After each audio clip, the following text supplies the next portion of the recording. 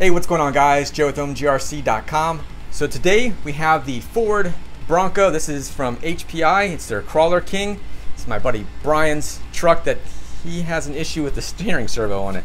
So uh, we got a relocator kit right there. And let me show you how this thing is set up anyhow. Maybe you have one of these or you are looking at one, what have you.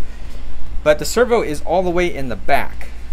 Now, if I turn the wheel, you can start to see the little mechanism come down here. So you kind of focus in this area, you'll see it all kind of moving. So yeah, lots of go lots going on there.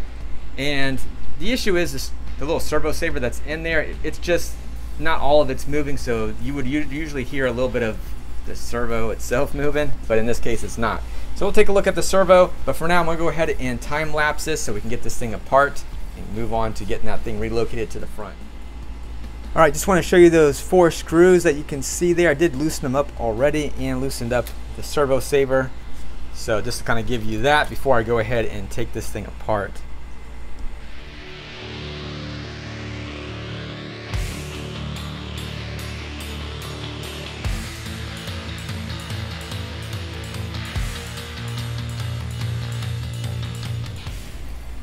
Okay, so I did take, obviously I had to take the servo out, so I want to make sure I have enough cable length as one, but it was easier for me just to go ahead and take the receiver box off and do it this way because the receiver box is already coming off.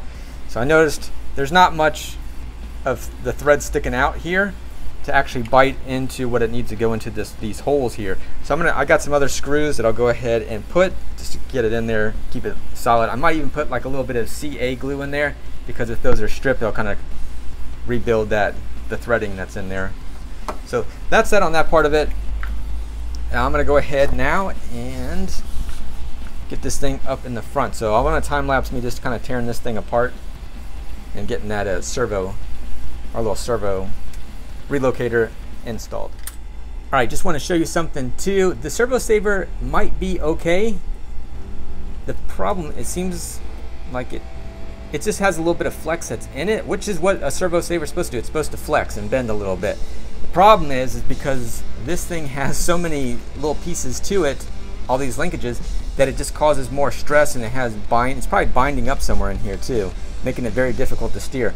So I think once we eliminate all that, we might have a good servo saver that we can use. Put it on the front here as far as that whole servo, and continue on.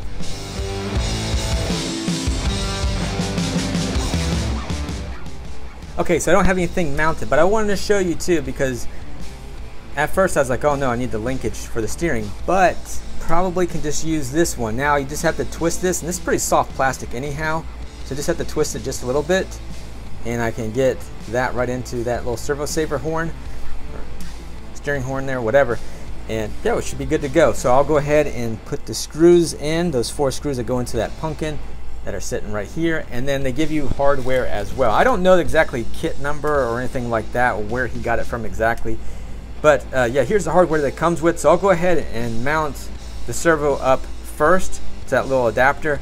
And then I'll go ahead and mount um, the other everything else to that little pumpkin and just make it easier for me.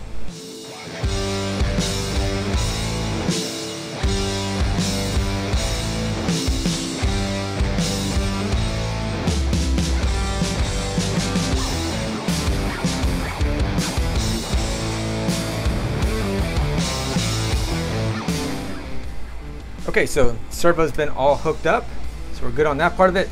And I did route the wire, so that way, if the chassis is flexing, what have you, give you the articulation still. We're not pulling on any of these wires. This wire still has room to kind of slide a little bit too. And that way we don't have any of that chafing, what have you, as far as damaging our wire.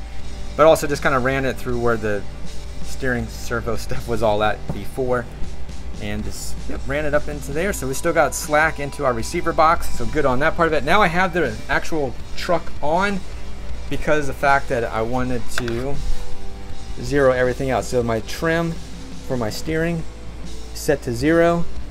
That way my servo is set to zero. So that way when I go ahead and mount the servo horn, everything should be, you know, out pretty much to zero or where I need it to be. So we should be good. So I'm gonna go ahead, and mount that stuff up, all right, so everything is working, sort of. Um, I think it's something with the radio here. So let me just go ahead and show you, demonstrate. If I turn to the right, everything's good. If I turn to the left, it starts to have some issues with it. So uh, I think it's the radio. So because when I do it and I reverse it, so I reverse my steering here. So that way when I go to the right, it goes to the left and vice versa. So still if I, but it's issue going left on the radio. So now it's, it's like, hello, it's, it's yeah, it's acting definitely weird. All good going, which would normally be your right. So as it is right there. Okay, so that's that. I kind of figured that one out. That's easy enough to figure. Uh, I think it's with the radio itself because if I kind of pull on this thing or kind of tweak it just a little bit, it seems to be okay. Um, also, dual rate. In case you guys are new and you you know we always skip over. Oh yeah, dual rate. You got your reverse trims, all this stuff. But dual rate sets your endpoints. What does that mean?